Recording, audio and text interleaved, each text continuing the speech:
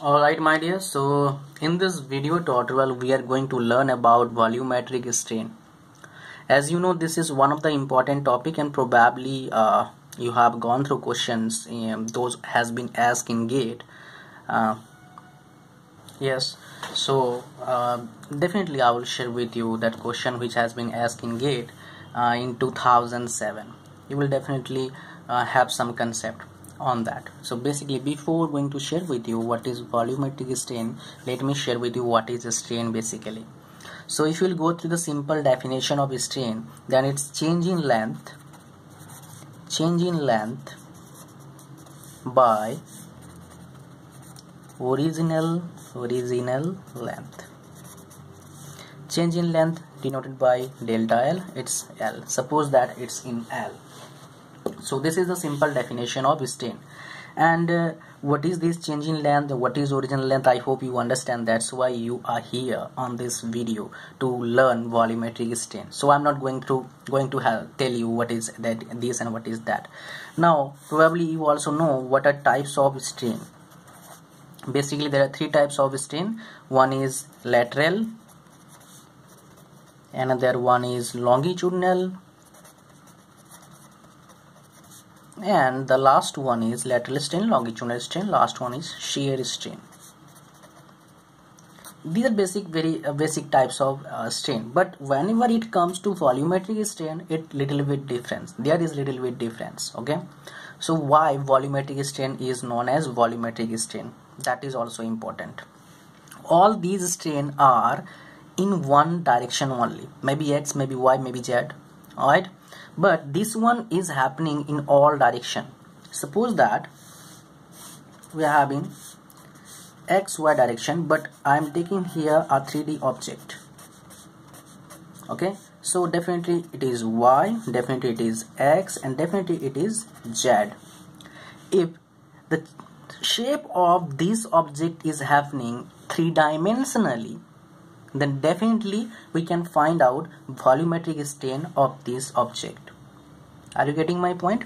Now what is basically volumetric strain? We need to understand. That is also important. So volumetric strain is something which uh, you know changing in volume change in volume by original volume. So we denote volumetric strain small e v change in volume delta v by original volume is known as volumetric strain. Are you getting my point? Probably you are getting. So this is the volumetric strain but here what is it and what is this? What is the change in volume and what is the volume? That is also important. All right? Now uh, you know if you'll go through the derivation of a this is the this one is basic. But if we'll go through derivation of a then I must say ex plus ey plus ez this is the definition. I mean strain in the x direction strain in the y direction strain in the z direction. And adding all these strain becomes volumetric strain so if we'll add strain, what is strain? Sigma x by E plus sigma y by E plus sigma z by E into 1 minus 2 nu. After derivation we got this value. I'm not going through the derivation what you should have to do because that will be quite lengthier. You can read from anywhere from any book but I am sharing, sharing with you the main concept of this volumetric strain after these what happen if okay we can write this equation like this sigma x sigma y sigma z by e 1 minus 2 nu okay? Now if all the stresses all stresses are same sigma x is equal to sigma y equal to sigma z is equal to sigma then what happen what we can write sigma plus sigma plus sigma by e 1 minus 2 mu. That means 3 sigma by e 1 minus 2 nu so this is all about it and what we can do. So what we got here 3 sigma by e 1 minus 2 nu okay? So basically probably you have if you gone through some uh, some books or maybe some problem you have seen this. But there is a case where sigma x is equal to sigma y is equal to sigma z all these stresses in all direction would be same in the case of hydrostatic loading. Hydrostatic loading. Remember that this is important. Probably i mean this is important. I must say this is important. Probably you can get question. In case of hydrostatic loading what will happen with to the volumetric strain? Probably you can get question in this topic. So we should not forget. Okay? Now now this is the formula. I mean this is it about uh, all volumetric strain and all that. But if you are learning if you are preparing or if you wanted to get a previous year question which has been asked in gate then i must share with you that question. Well i haven't written that question but that question is right now in front of me. So i can share with you i can read and you can listen to me carefully. In this question what is state that there is a steel block of 200 by 100 by 50 mm okay this is a steel block of this is subjected to hydrostatic pressure. Hydrostatic pressure P is equal to 15 megapascal. Okay. The Young's modulus and Poisson ratio of the material are 200 gigapascal. Poisson ratio, I mean Young's modulus E and Poisson ratio mu is equal to mu is equal to 0.3. The uh, the change in length and change in volume of block in millimeter cube. Millimeter cube. So option a b c and d. We have to go through all option.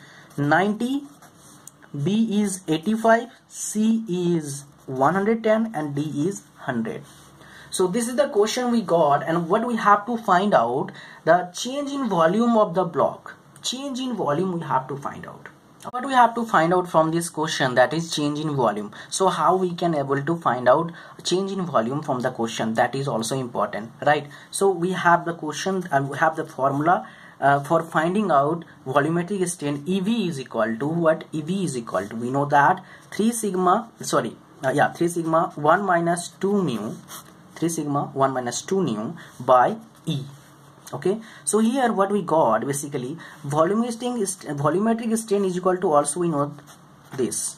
Change in volume by volume. But what we have to find out basically in this question change in volume that is that is delta v. I hope this uh, you have gone through i mean the question you understood right? We have to find out delta v so that that means delta v volume into 3 sigma 1 minus 2 mu by e. This is the formula for finding out this. I mean just I have sent this v to that side by using cross multiplication concept. Now what is volume basically here?